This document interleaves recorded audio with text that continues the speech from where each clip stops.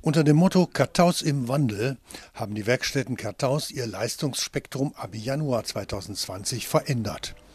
Im neu geschaffenen Tagungsraum, vorher Boutique Kartaus, trafen sich jetzt Dülmener Unternehmer sowie Vertreter aus Presse und Politik.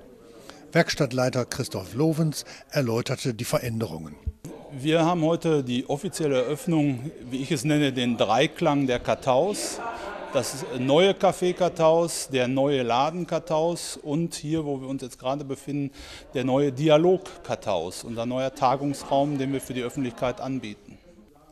Unter dem Motto Dialog Kartaus, Tagen und Treffen soll das Gebäude der ehemaligen Boutique künftig für Tagungen von externen Unternehmen zur Verfügung stehen.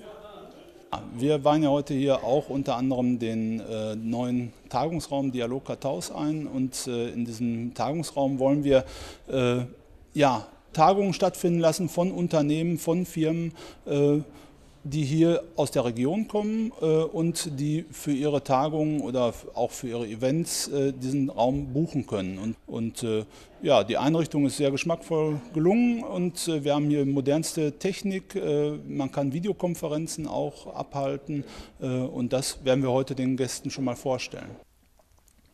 Besonders die veränderten Öffnungszeiten des Café Kartaus seien von den Besuchern kritisiert worden.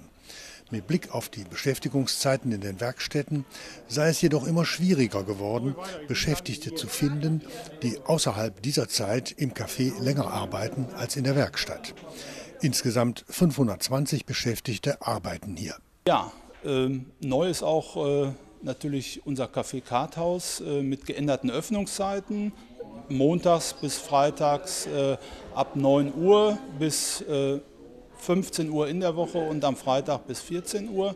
Ähm, das äh, Neue ist halt ein neues Frühstücksbuffet und eine reichhaltige Mittagskarte mit unterschiedlichen Angeboten. Durch Umbau wurde das Angebot des Ladens unter dem Namen Bio und Boutique zusammengelegt. In den neuen Räumen finden die Besucher jetzt ausgesuchte ökologische Lebensmittel, teils aus der eigenen Biolandgärtnerei. Daneben wird dort auch der bewährte Mix aus Dekoartikeln und Spielwaren zu finden sein. Der neue Laden Kartaus besteht also aus Boutique und Bioladen äh, und äh, da haben wir auch äh, natürlich unser Angebot nochmal erweitert. Gerade im Bereich Bioladen haben wir eine frische Theke, wo wir Käse, Bio-Käse anbieten und das kommt, also der Laden ist ja schon ein bisschen auf, der ist schon seit dem Winterzauber auf und kommt bei den Kunden bisher sehr gut an.